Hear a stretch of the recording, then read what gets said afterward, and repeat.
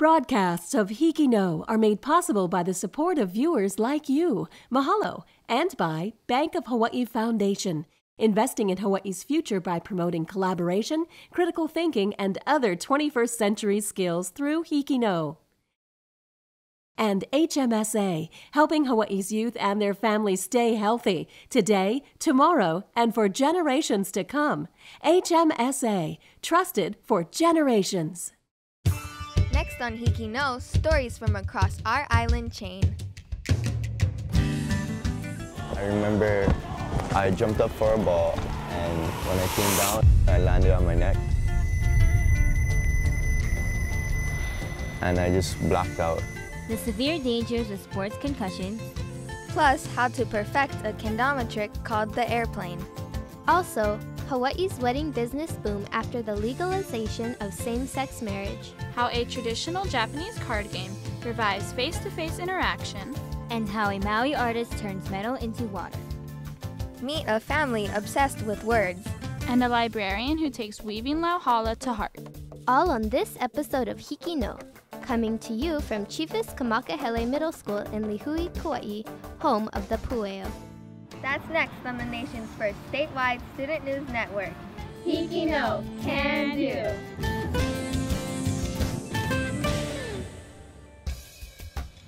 Aloha and welcome to Chiefess Kamakahelei Middle School, here on the Garden Island of Kauai. CKMS first opened its doors in the fall of 2000 and today services 899 6th, 7th, and 8th graders from the central Kauai area, stretching from Kalaheo to Hanamaulu and all points in between. Today, we're going to do something a little different from what you've seen in past Hiki No episodes.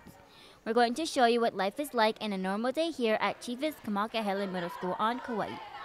For those of you who have moved on from middle school, have things changed over the years from when you went to junior high as they used to call it? Stick around and we'll show you what it's like over the course of the show.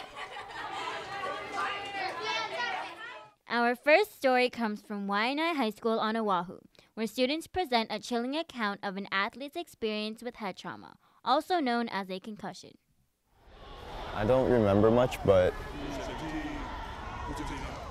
I remember I jumped up for a ball, and when I came down, I landed on my neck. And I just blacked out. Straight up, up and out. Waianae High School senior Chaz Bollig is really into football. He's got video games, banners, even signs. I don't know how I'm gonna set this up though. He obviously loves to relax off the field. But things take a turn for the serious when he straps on his helmet for the Searider football team.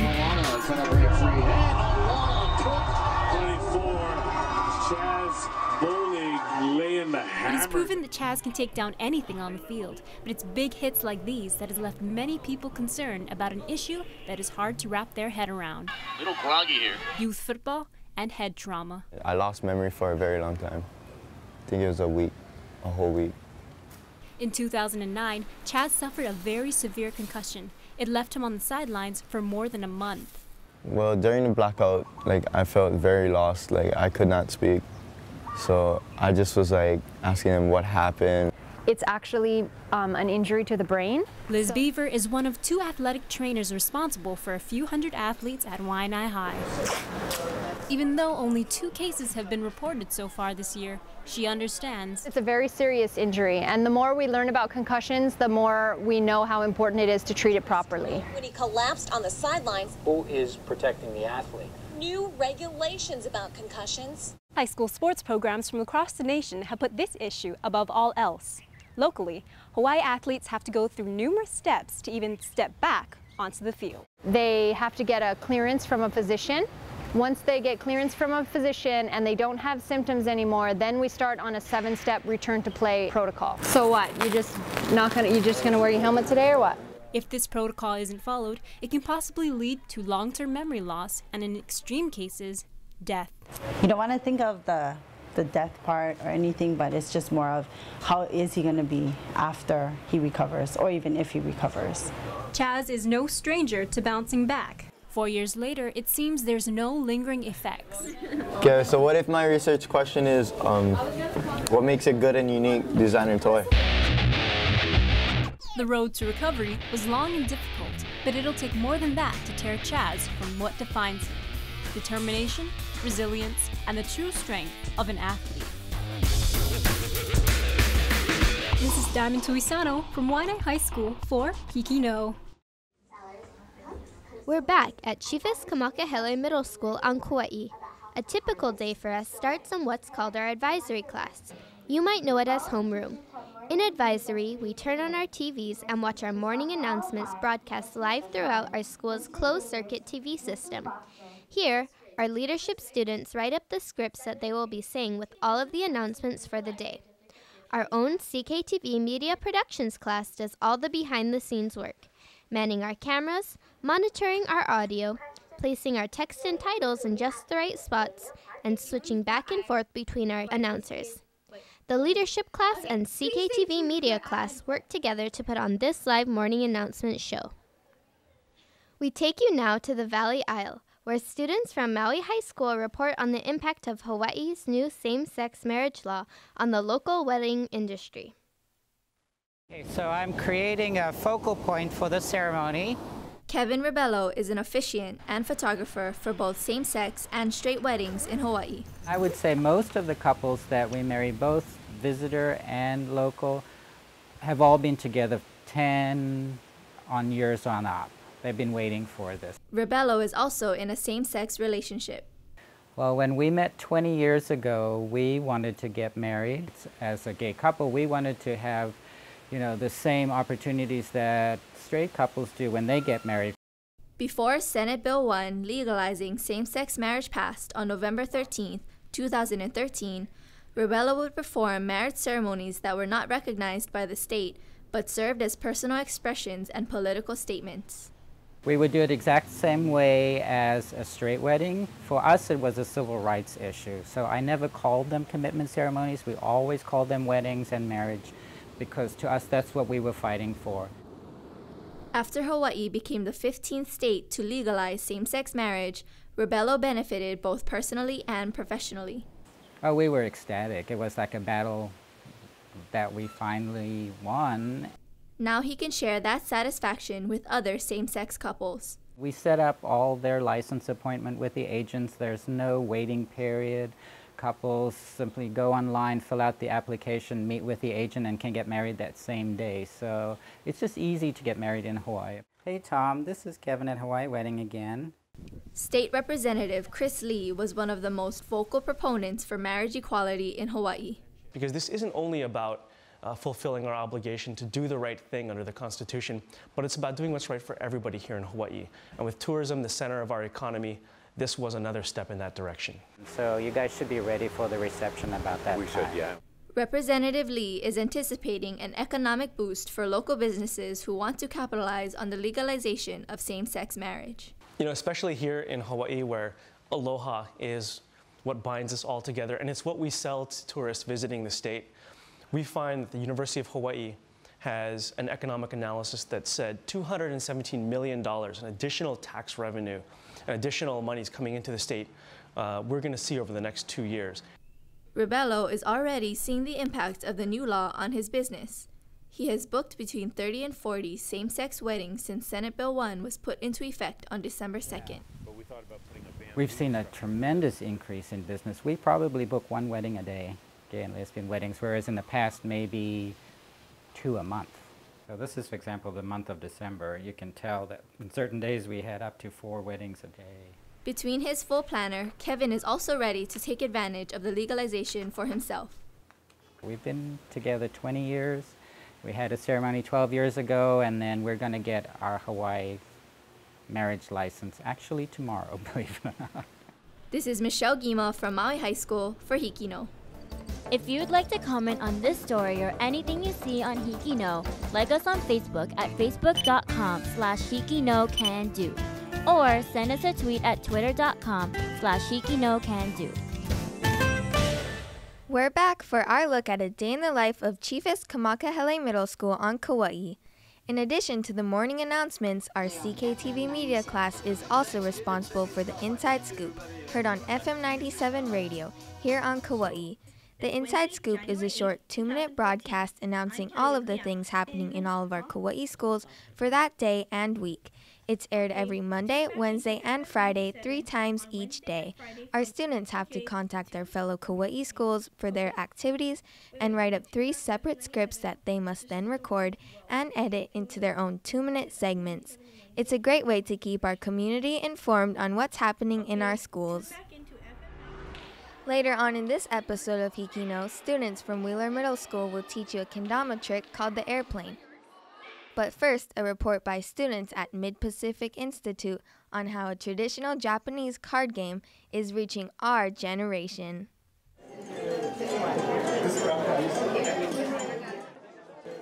Hanafuda, a traditional Japanese card game, has been a deeply rooted old-time classic for the people of Hawaii since the beginning of the 20th century and inspired local resident Helen Nakano to start up her own organization, Hanafuda Hawaii, to carry on the Hanafuda tradition to today's generation. Because Hanafuda was brought in through the plantations, it became, to me, people think of this as local, part of local culture. They don't necessarily think, oh, this is a Japanese game. This is a local game. The goal of Hanafuda is to match the bright and vibrant card suits with its corresponding double to collect as many points as possible. Hanafuda is also a way for different generations to form deeper connections. I think I like it just because it brings back memories, like it's childhood memories, and um, it just rem reminds me of good times. It's a game that has a lot of luck, so if you're a beginner, it's still really fun to try because you have a chance at actually winning.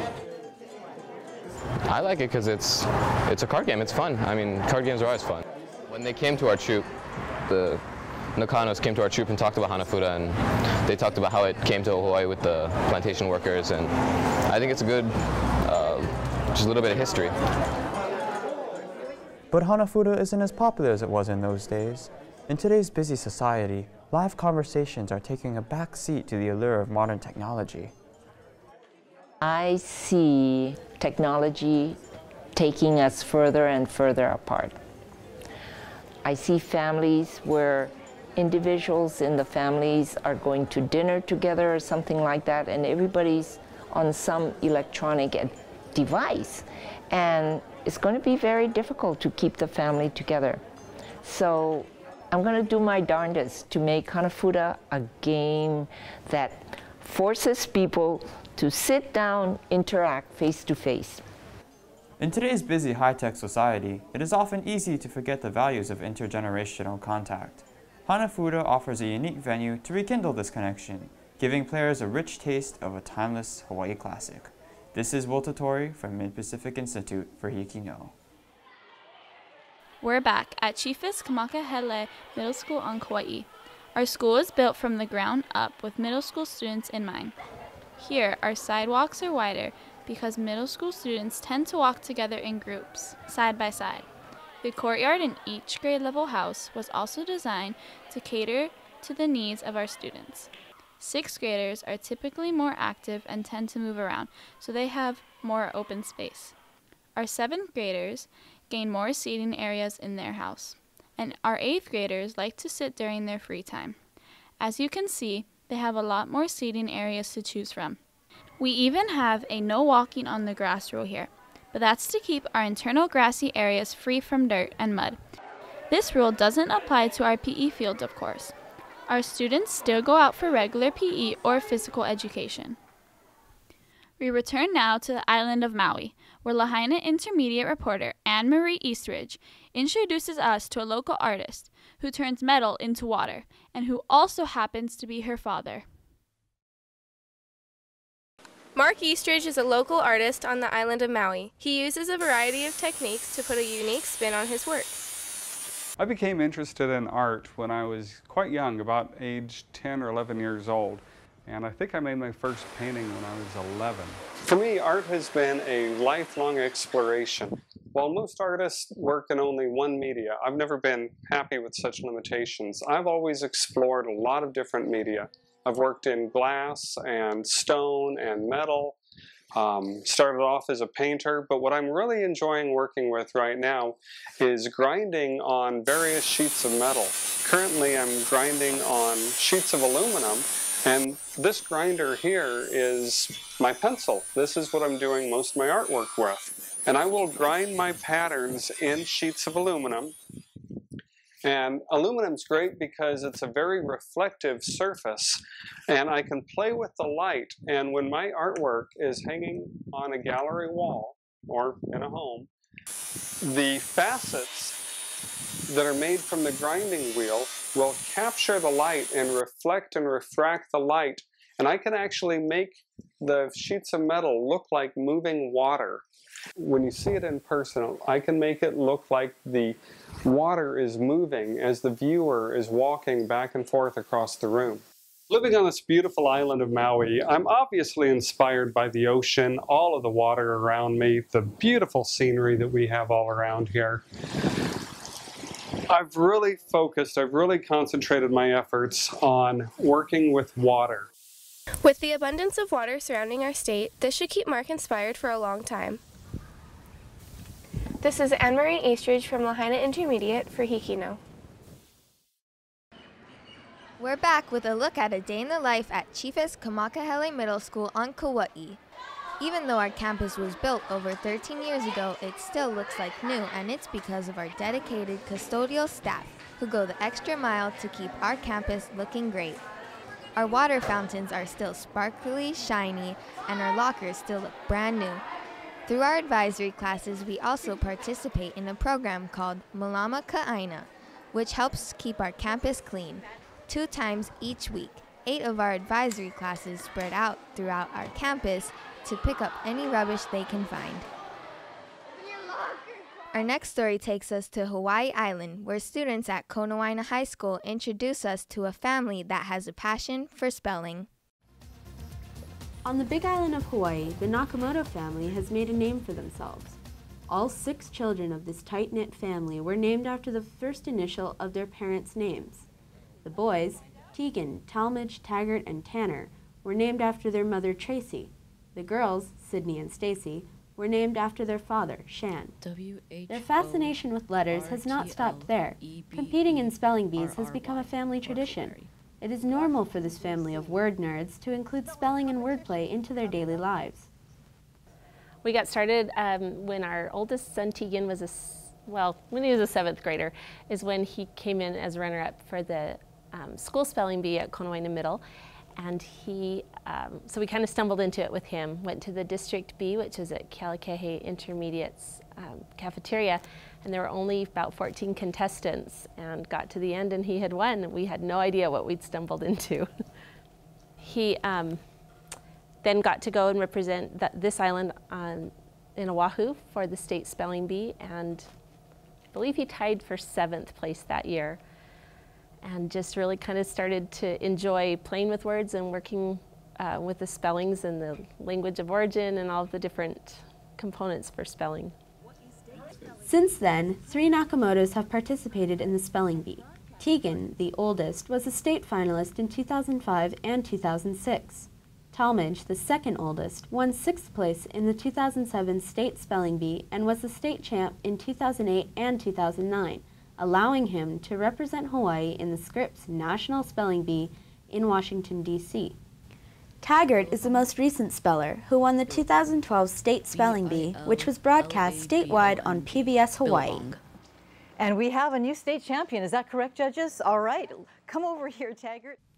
Not only has participating in spelling bees expanded their vocabulary, it has also given the Nakamoto boys confidence in other areas of their lives. Talmadge and Taggart both have a speech impediment and are uncomfortable in social situations. However, this did not stop Talmadge from becoming a valedictorian for Konawaena High School class of 2013. Spelling has become a tradition for this family of eight and has allowed their children to shine. Which brings us to round 20. We're not the most athletic of families. Um, not going to ever really play football when kids are only five foot something. um, but the words are something that they can always have fun with, and, and it's done really well for, uh, for our older boys. They've um, our oldest son was a, a, national merit scholar, and we really think part of it is just the exposure to all different kinds of subjects and the vocabulary and everything that goes along with spelling. It just it just stays with you. This is Olivia Maigret reporting from Konawaena High School for Hiki No. H I K I N O. Let's get back to Chiefess Kamakahelei Middle School on Kauai. When it's time to eat, our students head up to our cafeteria. Nowadays, students don't need to bring any cash to school to purchase their meals. Parents make a prepayment into their child's account, and each student uses his or her ID badge to make a purchase in our cafeteria.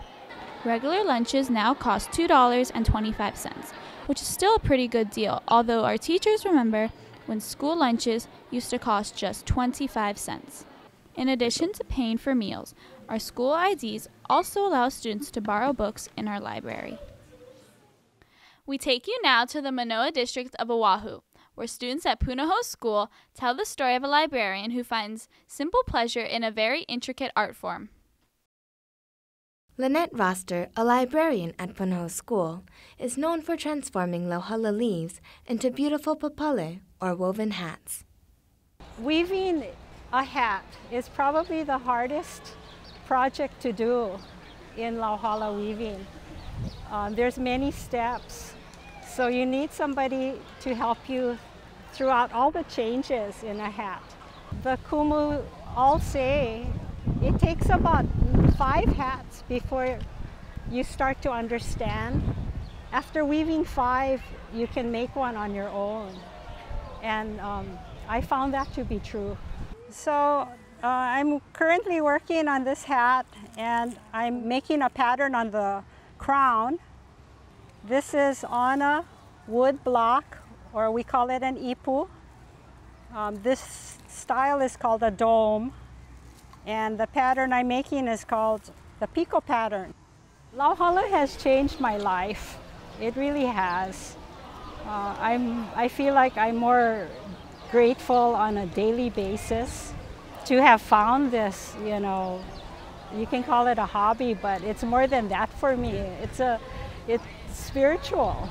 When I'm just sitting down and weaving, I'm here, I'm not thinking about anything else but what I'm doing with my hands, and I can create a design that comes in my head.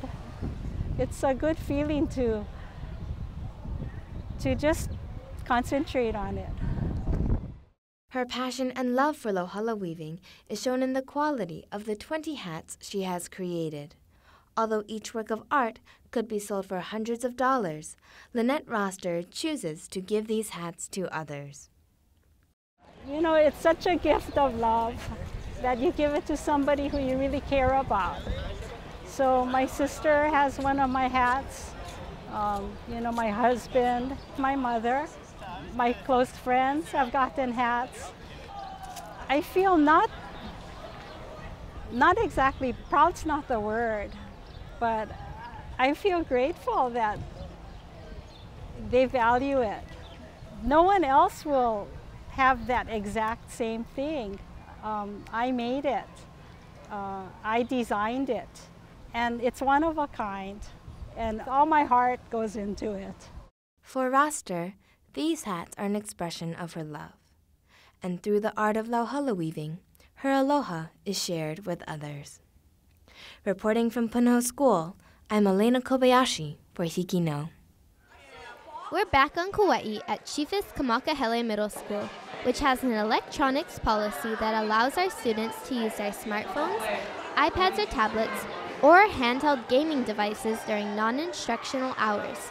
To receive this privilege, students and their parents must sign and agree to our policy.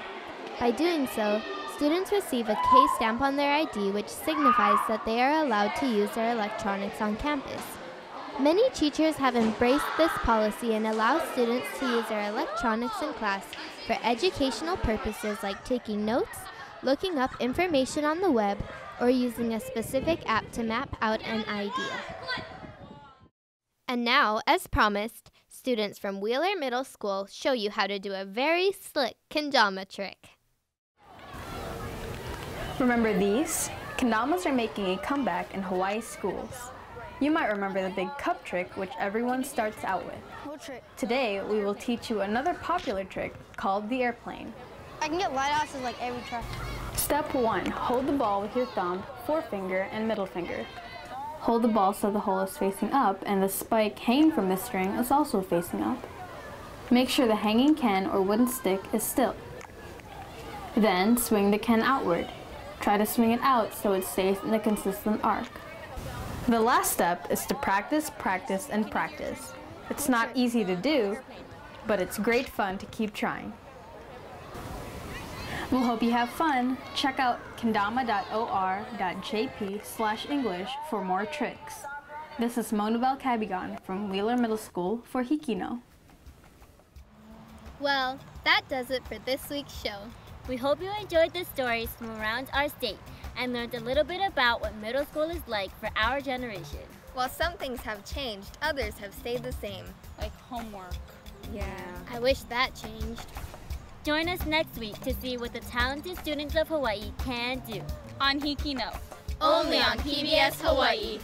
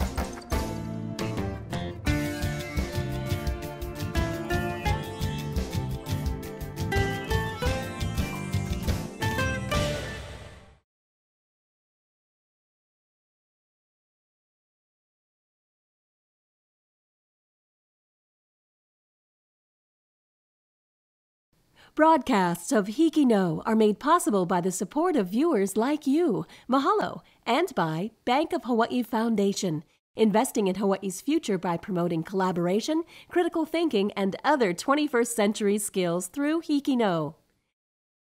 And HMSA, helping Hawaii's youth and their families stay healthy today, tomorrow, and for generations to come. HMSA, trusted for generations.